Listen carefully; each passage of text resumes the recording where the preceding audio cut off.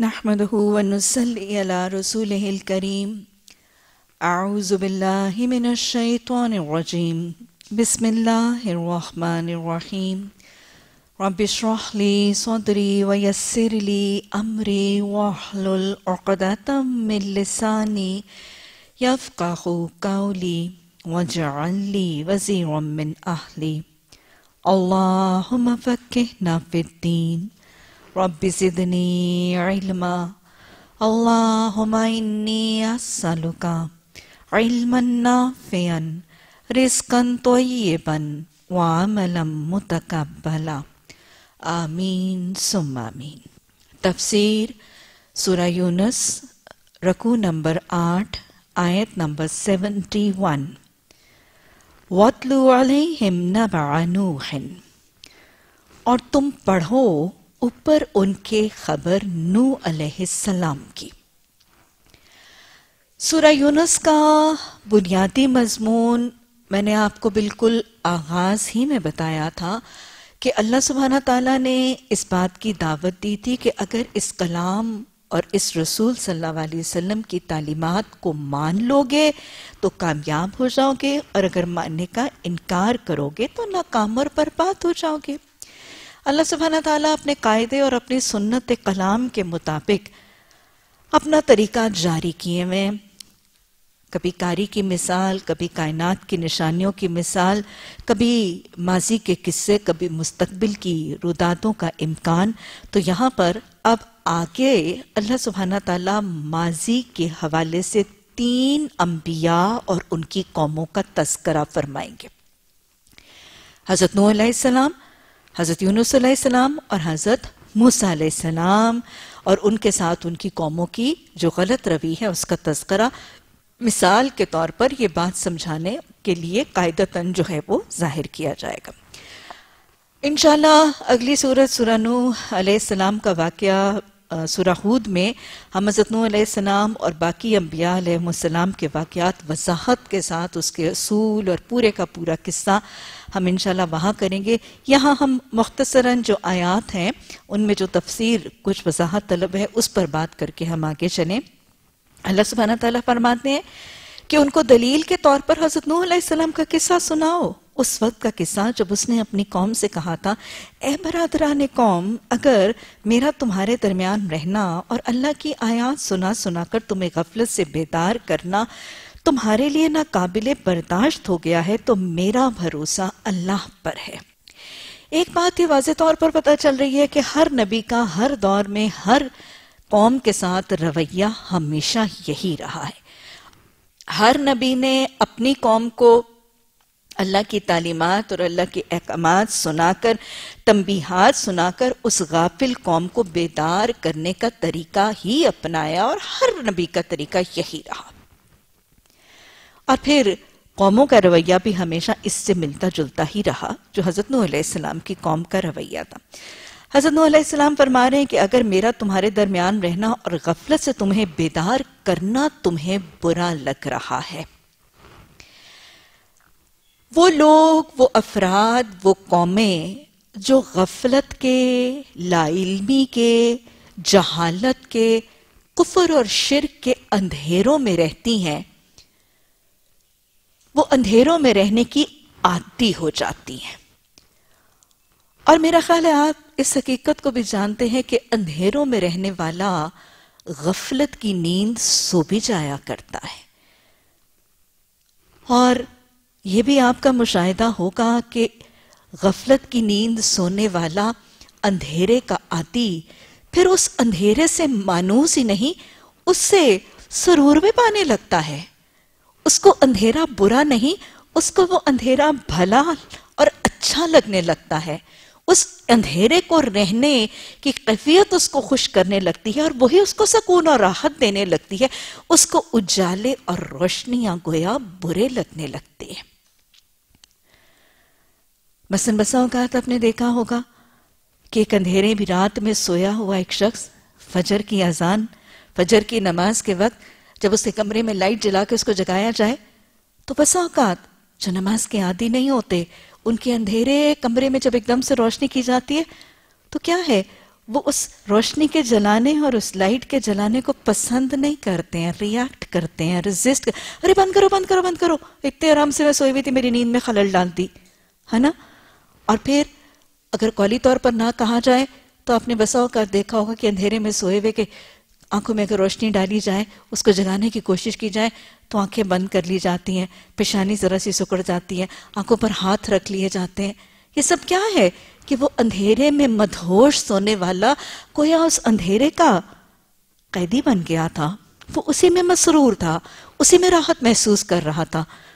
ہر قوم جب غفلت، لا علمی اور جہالت کے اندھیروں میں مدہوش اور سو جاتی ہے غفلت کی نیند، اس کو جب کوئی جگانے والا نور ہدایت کی طرف مائل کرتا ہے، تو قومیں ایسے ہی ریاکٹ ایسے ہی ریزسٹ ایسے ہی ریجیکٹ اور ایسے ہی ریٹیلیٹ کرتی ہیں اور کرتی رہی کی حضرت نو علیہ السلام کے ساتھ بھی ایسا ہوا کہ میرا رہنا اور یہ نور کے پیغام سے تمہیں منور کرنا اگر نہ قابل برداشت اور تم اندھیروں میں ہی زندگی گزارنا چاہتے ہو اور میرے ساتھ تم لڑتے ہو، جھگڑتے ہو ریاکٹ کرتے ہو ریزسٹ کرتے ہو، تو بس پھر میرا بھروسہ اللہ پر ہے۔ تم اپنے ٹھہرائے ہوئے شریکوں کو لے کر ایک متفق کا فیصلہ کر لو اور جو منصوبہ تمہارے پیش نظر ہے، اس کو خوب سوچ سمجھ لو تاکہ اس کا کوئی پہلو تمہاری نگاہ سے پوشیدہ نہ رہے۔ پھر میرے خیالات اس کو عمل میں لے آؤ اور مجھے ہرگز محلت نہ دو۔ تم نے میری نصیحت سے منہ موڑا تم میرا کیا نقصان کیا؟ میں تم سے کسی اجر کا طلبگار نہیں۔ میرا اجر تو اللہ کے ذمے ہے اور مجھے یہ حکم دیا گیا ہے کہ خواہ کوئی مانے یا نہ مانے میں خود مسلم بن کے رہوں گا۔ قرآن میں جہاں حضرت موسیٰ علیہ السلام کا قصہ بارہا بیان کیا گیا ہے، حضرت موسیٰ علیہ السلام، حضرت نو علیہ السلام کا قصہ جو بارہا بیان کیا گیا ہے، حضرت نو علیہ السلام جن کو اولو العظم انبیاء کی فہرست میں شامل کیا گیا، ان کی ثابت قدمی سے دی گئی دعوت ایک قاری قرآن کو دعوت کے بڑے خوبصورت اسلوب اور طریقے سے کھاتی۔ ہے ایک دائی کو اس کی دائیان شان کے انداز اور ادب کا طریقہ سکھاتی ہے۔ یہاں سے کیا پتا چل رہا ہے؟ ایک دین کی دعوت دینے والے، ایک مبلغ، ایک دائی کے لیے کیے جانے والے عمل کون سے ہیں؟ اس کو اللہ پر توکل کرنا ہے۔ ظاہر ہے، اس کو اپنے معاشرے، اپنے گھرانے، اپنی برادری کی اپوزیشن اس کی مخالفت، ایک ہر قسم کی ریجیکشن شاید مار، پیٹ ازیت زدقوب ہر قسم کے معاملے ایکسپیرینس کرنے ہیں۔ ان تمام چیزوں پر اس کو بھروسہ کسی پر نہیں، صرف دائی، دین کی دعوت دینے والے کو بھروسہ اللہ پر کرنا ہے۔ نہ اپنے زور بازو پر، نہ اپنے زور خطاب پر، نہ اپنے حافظے پر، نہ مال پر، نہ جائیداد پر، نہ برادری پر، نہ کسی پر توکل کرنا ہے تو رب سے کرنا ہے اور بھروسے کے قابل بھی اسی کو سمجھنا ہے۔ دوسری بات، قوم، برادری، ارد گرد، جتنے لوگ جتنی کوششیں، جتنی سازشیں، جتنی مخالفتیں کر لیں، نہ خوف زدہ ہونا ہے، نہ کم ہمت ہونا ہے، نہ استقامت کو چھوڑ کر بے صبری کا طریقہ اپنانا ہے۔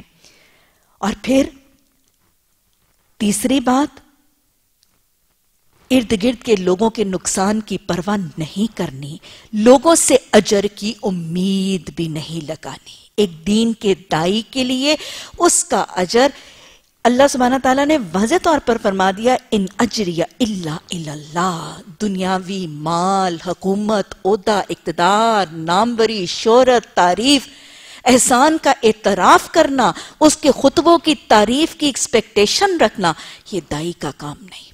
وہ اپنا اجر دنیا میں نہیں، آخرت میں اپنے رب کے لیے کرنے کا حقدار سمجھنا ہے۔ دنیاوی اجر اور دنیاوی بدلے اور ریوارڈ کا حریص نہیں ہوتا دائی۔ اور پھر دائی کو اگلا طریقہ کیا سکھایا جا رہا ہے کہ اس کو کیا کرنا ہے؟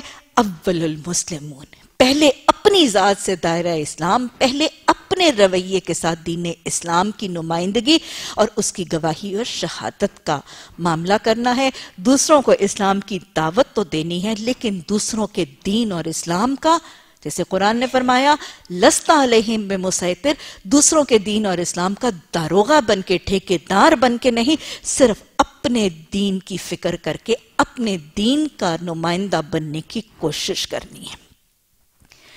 انہوں نے اسے چھٹلا دیا۔ نتیجہ یہ ہوا کہ ہم نے اسے اور ان لوگوں کو جو اس کے ساتھ کشتی میں تھے بچا لیا اور انہی کو زمین میں جانشین بنایا اور ان سب لوگوں کو غرق کر دیا جنہوں نے ہماری آیات کو چھٹلایا تھا۔ پھر دیکھ لو جنہیں متنبع کیا گیا تھا، پھر انہوں نے مان کے نہ دیا ان کا انجام کیا ہوا۔ دایانہ شان سکھانے کے بعد اللہ سبحانہ تعالیٰ آگے انجام بتا رہے ہیں۔ کہ وہ دائی وہ دائی جو خالصتاً اللہ کی رضا کے لیے، اللہ سے اجر کے لیے، اللہ پر توکل کرتے ہوئے، صرف اس سے ڈرتے ہوئے کام کرتا ہے، وہ اللہ اس کا معاون بنتا ہے، اس کا ولی بنتا ہے، اس کا محافظ بنتا ہے۔ ایسے توکل کرنے والوں اور ایسے اخلاص سے کام کرنے والوں کو اللہ سبحانہ تعالیٰ نے حضرت نوح علیہ السلام کے قصے سے رہتی دنیا تک اپنی سنت دکھا لی کہ ایسوں کو اللہ نے بچا لیا اور ان کے نہ ماننے والوں کو اللہ نے غرقاب کر دیا۔ پھر نوح علیہ السلام کے بعد ہم نے مختلف پیغمبروں کو ان کی قوموں کی طرف بھیجا۔ ان کے پاس کھلی کھلی نشانیاں لے کر آئے، مگر جس چیز کو انہوں نے پہلے جھٹلا دیا تھا، اسے مان کے نہ دیا۔ اسی طرح ہم حد سے گزر جانے والوں کے دلوں پر ٹھپا لگا دیتے ہیں۔ اللہ فرما رہے ہیں، قَذَلِكَ نَطْبَعُ عَلَى قُلُوبِ الْمُعْتَدِينَ اسی طرح ہم زیادتی کرنے والے حد سے گزرنے والوں کے دلوں پر ٹھپا لگا دیتے ہیں۔ عمومی سا پیغام دیکھ لیجیے کہ جب کوئی فرد، جب کوئی گھرانہ، جب کوئی معاشرہ، جب کوئی قوم اللہ کے حدود سے بڑھ جاتی ہے، زیادتی کرتی ہے، حدود سے تجاوز کرتی ہے، تو اللہ کے حکم سے اس کے دل پر مہر لگا دی جاتی ہے، ٹھپا لگا دیا جاتا ہے۔ اور یہ آپ واضح طور پر جانتے ہیں، جب کسی چیز پر مہر لگ جائے تو نہ اندر کی چیز باہر اور نہ باہر کی چیز اندر آ سکتی ہے۔ جب کسی فرد کے دل پر ٹھپا لگ جائے، اس کی آنکھوں، اس کی کانوں پر ڈاٹ اور پردے پڑ جاتے ہیں، تو نہ دل کا کفر نہ دل کا نفاق، نہ فسق باہر نکلتا ہے اور نہ ایمان اور اسلام داخل ہوتا ہے۔ یہ وہ شخص ہے جو کس سے محروم ہو جاتا ہے؟ ہدایت سے، نعمت اسلام سے، دین اسلام کی برکتوں اور فیوز کو سمٹنے سے محروم ہو جاتا ہے۔ کس چیز کی عمل کے کرنے والا؟ حد سے پڑھنے والا۔ اللہ ہمیں حدود اور قیود کو سمجھنے اور حدود کی پابندی کی توفیق عطا فرمائے۔ اگر ہم آج کے معاشرے کا محاسبہ کریں، آج کا فردن فردن اور اجتماعی سطح پر محاسبہ کریں، تو آپ دیکھیں گے کہ کھانے، پینے، لباس، معیشت، معاشرت، سارے احکامات الہی میں حدود اللہ سے تجاوز نظر آتا ہے کہ نہیں؟ وراثت کے احکامات ہیں۔ کتنے احکامات ہیں اللہ کے؟ ان تمام سے تجاوز نظر آتا ہے۔ شاید یہی وجہ ہے کہ آج قرآن اتنا بھر بھر کے سنایا جاتا ہے، لیکن اس کے باوجود عمل اور رویوں میں فرق پیدا نہیں ہوتا۔ اللہ ہمیں حدود اور قیود کو سمجھنے، حلال اور حرام کو پہچاننے، جائز اور ناجائز کو سمجھ کر اللہ کی وضع کرتا حدود کے مطابق زندگی گزار کر اپنے دلوں کو اور اپنی کانوں اور اپنی آنکھوں کو ان مہروں سے بچا کر ہدایت کے رستوں پر چلنے کی توفیق عطا فرمائے۔ پھر اس کے بعد ہم نے موسیٰ اور ہارون علیہ السلام کو اپنی نشانیوں کے ساتھ فرعون اور اس کے سرداروں کے پاس بھیجا۔ مختصراً اگر دہرا لیں، اللہ سبحانہ تعالیٰ کے حکم سے حضرت موسیٰ علیہ السلام جب مصر سے نکلے اور بھاگ کر اس قتل کے مقدمے سے ڈر کے جب بھاگ کے نکلے تو مدین حضرت شعیب علیہ السلام کے پاس پہنچے۔ حضرت شعیب علیہ السلام کے ساتھ مدین میں جو معاہدہ کیا، اس کے مطابق ان کی بکریاں چرائیں، ان کی خدمت کی اور پھر معاہدے کی تکمیل کے بعد ان کی بیٹی سے نکاح اور اب واپس اپنے وطن واپسی کا معاملہ جو ہے وہ اختیار کر رہے ہیں۔ وطن کی محبت بہرحال حق ہے۔ یہ وطن کی محبت جب حضرت موسیٰ علیہ السلام کو واپس مصر کی طرف کھینچ لا رہی ہے، تو راستے میں اللہ سبحانہ تعالیٰ کے حکم سے نبوت دی گئی تھی۔ اللہ سبحانہ تعالیٰ ہم کلام ہوئے تھے۔ اللہ سبحانہ تعالیٰ نے نبوت سے بھی سرفراز کیا تھا اور دو موجزے عنایت کیے گئے تھے۔ یہ دو موجزے عصا وہ جو پھینکنے پر ایک بہت بڑا سا ازدہا بن جاتا تھا اور ید بیدا وہ ہاتھ جو بغل سے نکالنے کے بعد چمکنے لگتا تھا، یہ دو نشانیاں دینے کے بعد اللہ سبحانہ تعالیٰ نے فرمایا کہ تم فرعون اور اس کے سرداروں کی طرف بھیجا گیا، مگر انہوں نے اپنی بڑائی کا گھمنڈ کیا اور وہ مجرم تھے۔ اللہ کے مجرم کون سے لوگ ہوتے ہیں؟ جو تکبر کرتے ہیں۔ ایمان سے، حق سے اسلام کے اعتراف سے محروم کون ہوتے ہیں؟ جو تکبر کرتے ہیں، انکار حق کی ایک وجہ تکبر۔ بس جب ہمارے پاس بس جب ہمارے پاس سے حق ان کے سامنے آیا تو انہوں نے کہہ دیا، یہ تو کھلم کھلنا جادو ہے۔ موسیٰ علیہ السلام نے کہا، کیا تم حق کو یہ کہتے ہو جب وہ تمہارے سامنے آ گیا؟ کیا یہ جادو ہے؟ حالانکہ جادوگر فلاح نہیں پایا کرتے۔ یہاں پہ دیکھ لیجیے سورہ بکرہ میں جادو کے توڑ کے لیے جن آیات کی تجویز بتائی گئی تھی، یہ سورہ یونس کی آیات، انہی آیات میں سے کچھ آیات ہیں۔ اور اللہ سبحانہ تعالیٰ یہاں پر حضرت موسیٰ علیہ السلام کی زبان سے کیا فرما رہے ہیں؟ وَلَا يُفْلِهُ السَّاحِرُونَ وَلَا يُفْلِهُ السَّاحِرُونَ ساحر، سارے کے سارے جادوگر فلاح نہیں پاتے۔ جادوگر، چاہے جادو کرنے والے ہیں، چھوٹے ہیں، بڑے ہیں، بڑے، چھوٹے، ساحر، کاہن۔ اللہ سبحانہ تعالیٰ نے واضح طور پر بتا دیا کہ وہ فلاح نہیں پاتے، نہ دنیا کی فلاح، نہ اخروی فلاح۔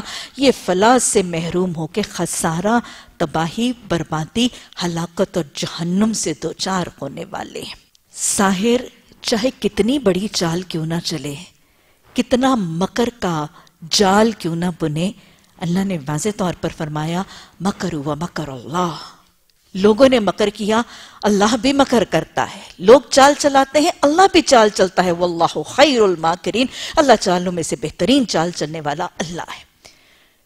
اللہ سبحانہ تعالیٰ بڑے بڑے جادوگروں کی چالیں اللہ کے حکم کے بغیر نقصان نہیں پہنچا سکتی ہیں۔ اللہ نے واضح طور پر قرآن میں فرمایا، لا یزرکم قیدہم شیعہ کہ تمہارے دشمنوں، تم سے بغض، نفرت، حسد، کینہ رکھنے والوں کی چالیں تمہارا کچھ نہیں بگاڑ سکتی۔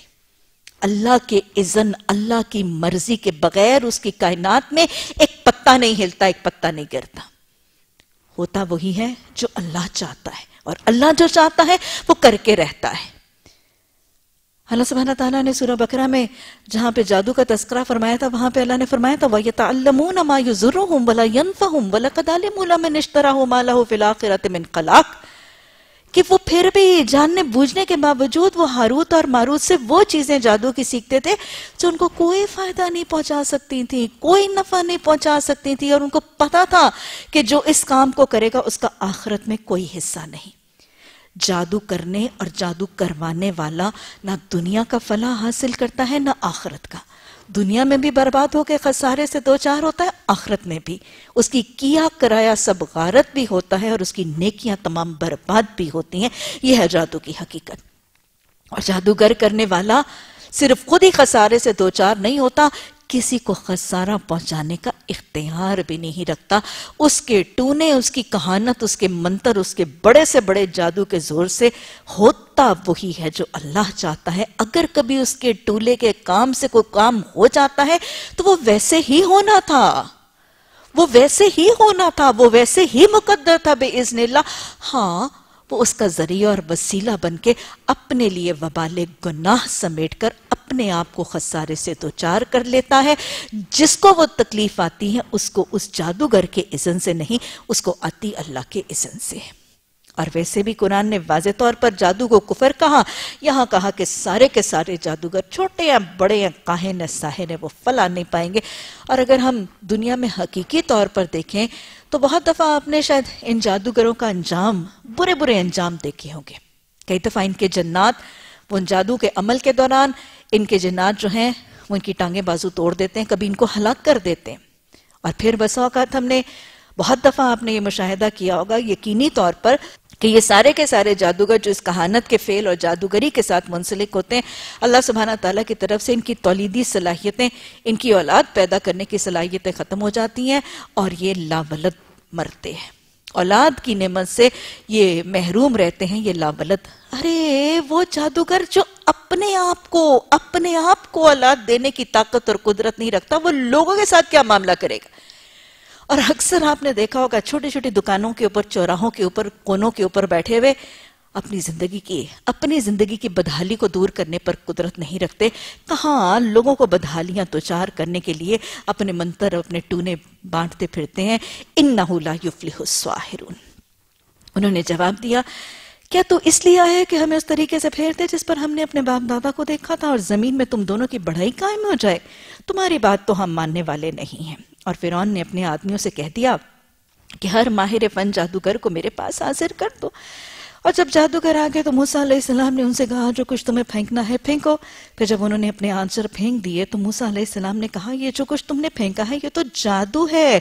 اللہ ابھی اسے باطل کیے دیتا ہے، جس کو اللہ پر توکل ہو۔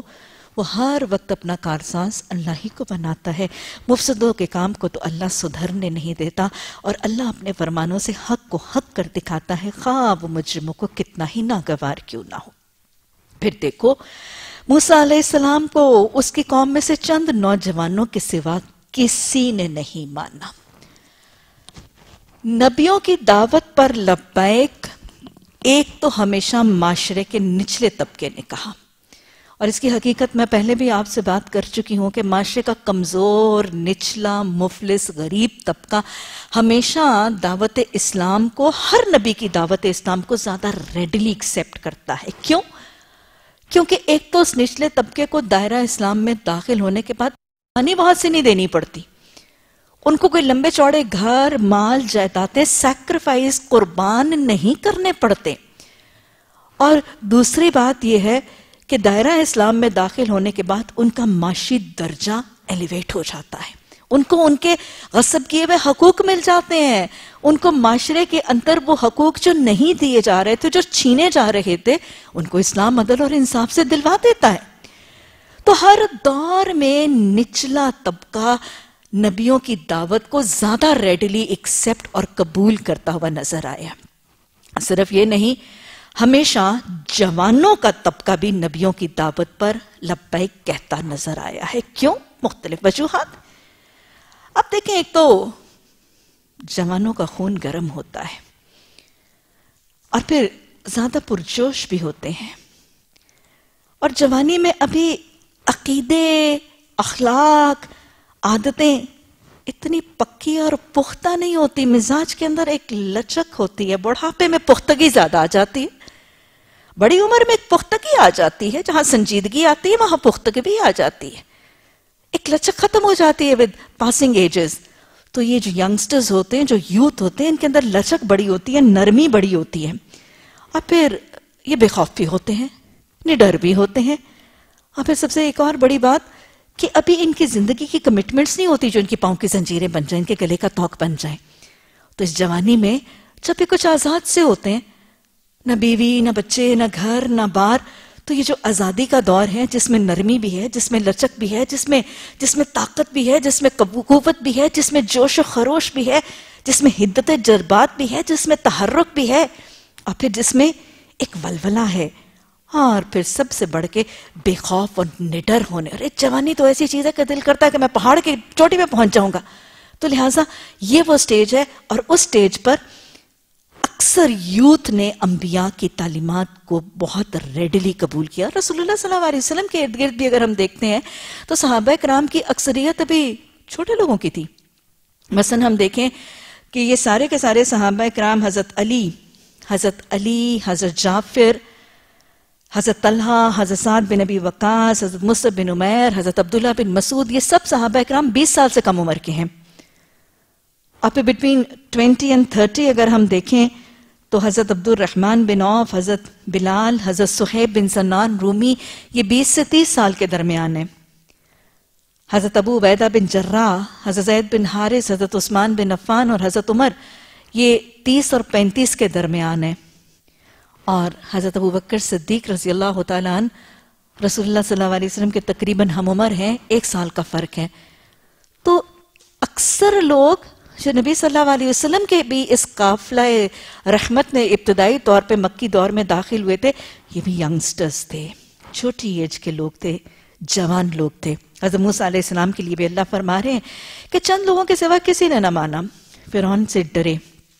کیوں قوم ڈری تھی؟ کیوں ایمان نہیں لا رہی تھی؟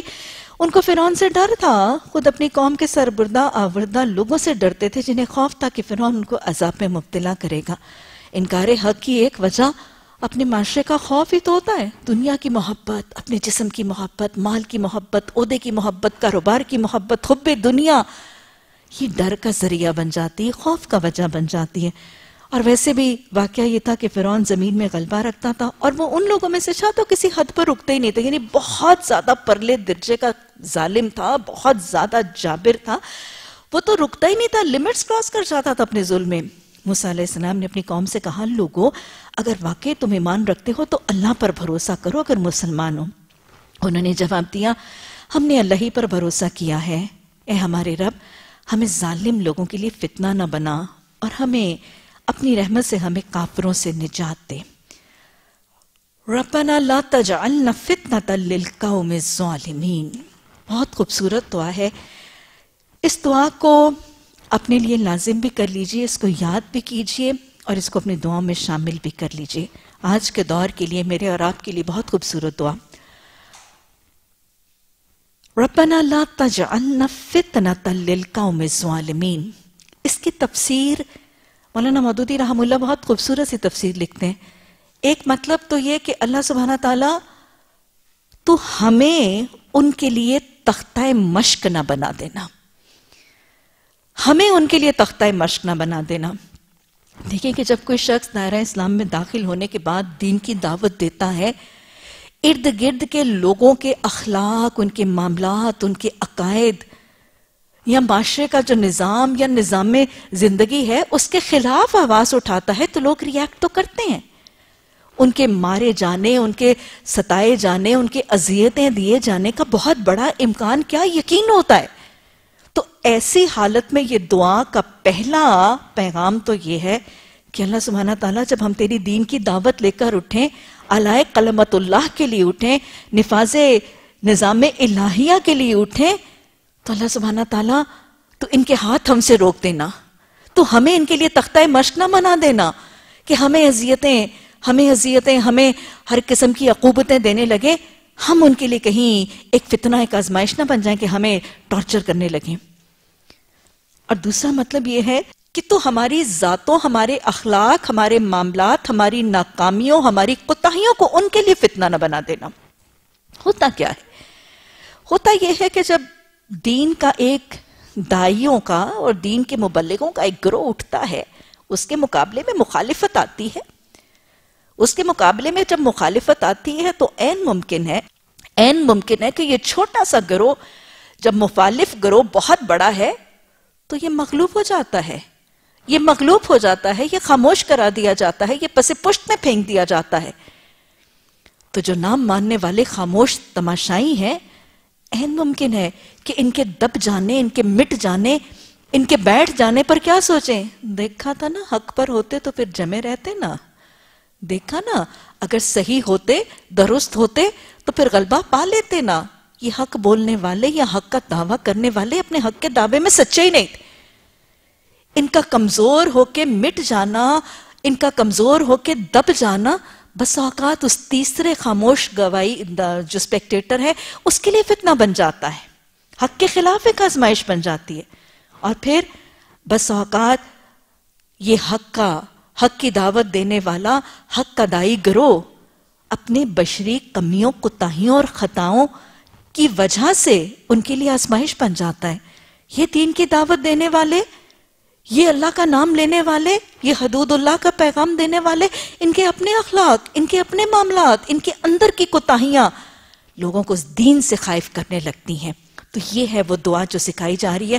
اللہ کہیں تو ہمارے مغلوب ہو جانے کو، کہیں تو ہماری کمزوری کو، کہیں ہماری استقامت کی کمی کو، یا ہماری خطاؤں، یا ہماری کوتاہیوں، یا ہماری بشری تقاضوں کی کمیوں کو لوگوں کے لیے اس حق دین کو سمجھنے میں فتنہ نہ بنا دینا۔ ہمیں استقامت بھی دینا، ہمیں غلبہ بھی دینا، ہمیں صحیح دین کی شہادت اور گواہی کی توفیق بھی دینا۔ تو اللہ سبحانہ تعالیٰ نے یہ بڑی پیاری دعا سکھائی۔ دین کی دعوت میں اس دعا کو اپنے لیے لازم رکھا کریں۔ انہوں نے کہا کہ اللہ تو ہمیں ظالم قوم کے لیے فتنہ نہ بنانا اور اپنی رحمت سے ہم کافروں سے ہمیں نجات دے۔ ہم نے موسیٰ علیہ السلام اور اس کے بھائی کو اشارہ کیا کہ مصر میں چند مکانوں کو اپنی قوم کے لیے مہیا کر لو۔ کہ تم ایک ٹھکانہ بنا لو اور تم کچھ اپنے گھروں کو اپنے لیے مختص کر لو اور اپنے مکانوں کو قبلہ بنا لو اور نماز قائم کیا کرو اور اہل ایمان کو یعنی ماننے والوں کو خوشخبری دے دو۔ حضرت موسیٰ علیہ السلام کی مصر کے دوران کی روداد بالکل نبی صلی اللہ علیہ وسلم کے مکی دور کے ساتھ ملتی جلتی ہے۔ فیرون کے نیچے جب یہ مغلوب تھے اور فیرون حاکم تھا، یہ محکوم تھے، اس دور میں با جماعت نماز کا اہتمام ممکن نہیں تھا۔ جیسے مکہ کے مسلمانوں کے لیے ممکن نہیں تھا۔ تو مسلم حضرت موسیٰ علیہ السلام کے پیروکاروں کو مصر کی مغلوب حالت میں چونکہ ان کی با جماعت نماز کا اہتمام نہیں تھا۔ اور یاد رکھیے گا، مسلمانوں کی، مومنوں کی جماعت میں جب تک با جماعت نماز کا اہتمام نہ ہو، دین کی روح دین کی روح مدھم پڑ جاتی ہے اور دین کی روح کمزور ہونے لگتی ہے اور اسلام کا شیرازہ اور اسلام کی اتحاد کا نظام جو ہے وہ بکھرنے لگتا ہے تو لہٰذا حضرت موسیٰ علیہ السلام کو اس دور میں جہاں وہ با جماعت نماز کا مساجد نہیں تھی، سینٹرز نہیں تھے، مراکز نہیں تھے اور اوپر سے غلبہ حاکم ایسے ظالم تھے، تو اس دور میں دین کی روح کو مجروع ہونے سے بچانے کے لیے، ان کے اتحاد کا شیرازہ بکھر جانے سے بچانے کے لیے حکم دیا گیا کہ کچھ گھروں کو اپنی مساجد بنا لو، قبلہ بنا لو اور وہاں پہ با جماعت نماز کا اہتمام کرو تاکہ با جماعت نماز کی جو ساری برکتیں اور جو ساری فیوز اور جو ساری تربیتیں ہیں، اس کی وجہ سے تم کہیں کمزور نہ ہو جاؤ، ان کی وجہ سے تم کہیں ڈھیلے نہ پڑ جاؤ۔ موسیٰ علیہ السلام نے دعا کی، اے ہمارے رب، تو نے فرون اور اس کے سرداروں کو دنیا کی زندگی میں زینت اور مال سے نواز رکھا ہے۔ اے رب، کیا اس لیے کہ وہ لوگوں کو تیری راہ سے بھٹکا دیں اے رب، ان کے مال کو غارت کر دے، ان کے دلوں پر ایسی مہر کر دے کہ وہ ایمان نہ لائیں جب تک دردناک عذاب نہ دیکھ لیں۔ حضرت موسیٰ علیہ السلام نے یہ دعا اپنے مصر کے دور کے بالکل آخری ایام میں مانگی۔ جب اتمام حجت ہوا معجزات اور نشانیوں پر نشانیاں آئیں۔ پہلے حضرت موسیٰ علیہ السلام نے وہ ید بیدا بھی دکھایا، اپنا، اپنی عصا بھی معجزات دکھائے۔ وہ جادو کا اعتراض لگاتے، مان کے نہ دیتے زد ڈھٹائی تکبر اور ہر قسم کی عقوبتوں کا طوفان جاری کیے رہے اور ڈھٹائی سے مان کے نہیں دیتے تھے۔ اس کے باوجود حضرت موسیٰ علیہ السلام بھرپور دعوت، توکل اور استقامت سے دیتے رہے۔ آخری دور میں جب قوم سے نا امید ہو گئے اتمام حجت ہوا، اس وقت حضرت موسیٰ علیہ السلام نے یہ دعا کی۔ اور یاد رکھیے گا، جب کوئی نبی اتمام حجت کے بعد دعا کیا کرتا ہے اپنی قوم کے لیے بد دعا، تو یہ دعا قبول ہوتی ہے۔ اللہ تعالیٰ نے جواب دیا، تم دونوں کی دعا قبول ہو گئی۔ یعنی تم نے جو اپنے قوم کے غارت ہونے اور برباد ہونے کی دعا، عذاب کی دعا کی ہے، یہ دونوں کی دعا قبول ہو گئی۔ اب تم ثابت قدم رہنا اور ان لوگوں کے طریقے کی ہرگز پیروی نہ کرنا جو علم نہیں رکھتے تھے۔ ہم بنی اسرائیل کو سمندر سے گزار لے گئے۔ اب جب حضرت موسیٰ علیہ السلام استقامت سے جمے رہے، صبر کرتے رہے اور اللہ کے دین پر ڈٹے رہے اور اللہ کی اطاعت کرتے رہے تو پھر ان اللہ مع الصابرین اللہ کی مدد آئی اور انشاءاللہ وضاحت سے ہم یہ واقعہ آگے پڑھیں گے۔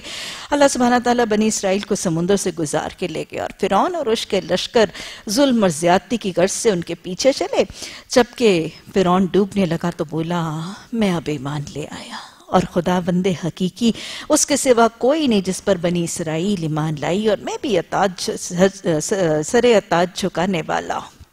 اللہ نے جواب دیا لانا اب ایمان لائے۔ حالانکہ اس سے پہلے تو نافرمانی کرتا رہا اور تو فساد برپا کرنے والوں میں سے تھا۔ تو گویا ایمان کب تک معتبر ہے؟ موت کے وقت تک۔ ان اللہ یقبل التوبت العبد ما لم یغرغر۔ اللہ سبحانہ تعالیٰ فرماتے ہیں کہ اس میں کوئی شک نہیں کہ اللہ اپنے بندے کی توبہ کب تک قبول کرتا ہے؟ جب تک موت کی غر غر شروع نہیں ہوتی۔ موت کے وقت تک یا عذاب کے آنے تک۔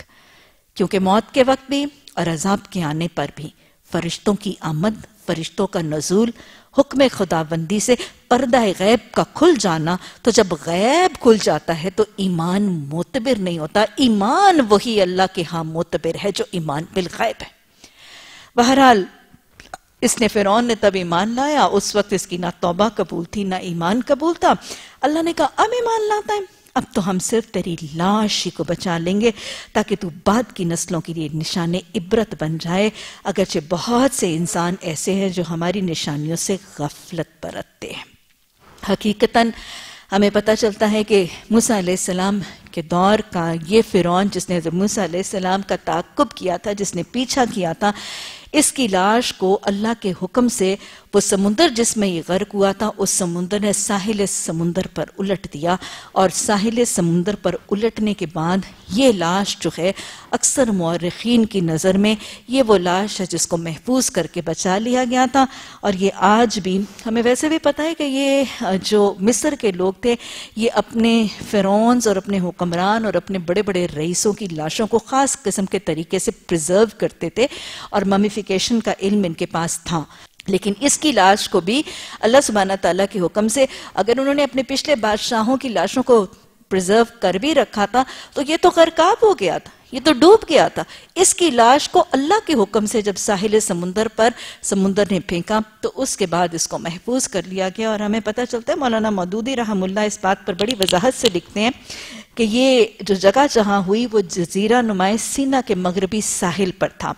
اور فرون کی لاش جو ہے، وہ تیرتی ہوئی ساحل پر آئی۔ اور یہ وہ جگہ ہے جسے وہ جبل فرون کے نام سے یاد کرتے ہیں اور یہاں پہ ایک چشمہ سا بھی ہے جسے وہ حمام فرون کا حمام جو ہے وہ کہتے ہیں اور یہاں کے لوگ جو ہیں وہ نشاندہی بھی کرتے ہیں کہ کس جگہ پر فرون کی لاش جو ہے وہ ملی تھی اور یہ لاش آج تک قائروں کے، قاہرہ کے عجائب خانے میں آج بھی موجود ہیں اور ہمیں مورخین بتاتے ہیں کہ سر گرافٹن ایلیٹ انہوں نے نائنٹین سیونٹی میں جب اس کے جسم پہ سے وہ پٹیاں اتاری تو اس کے اندر بہت زیادہ نمک اور شور، جو سمندر کا نمک جو ہے، اس کے اثرات باہر کیف موجود تھے۔ اللہ سبحانہ تعالیٰ نے قرآن کی آیت میں اس کی نشان عبرت اللہ نے متقبروں کا انجام بتا دیا، اللہ نے ظالم و جابروں کا انجام بتا دیا، اللہ نے مشرقوں کا انجام بتا دیا۔ اللہ ہمیں تکبر سے، جبر سے، ظلم سے، شرک کی حقیقتوں کو سمجھ کر ان تمام سے استغفار کرنے اور ان سے اجتناب اور پرہیز کی توفیق عطا فرما دے۔ اللہم جعلنی صبورا وجعلنی شکورا وجعلنی فی عینی صغیرہ وفی اعین الناس کبیرہ ربنا لا تزغ قلوبنا بعد إذ هديتنا وهب لنا من لدنك الرحمة إنك أنت الوهاب. آمين. ثم آمين.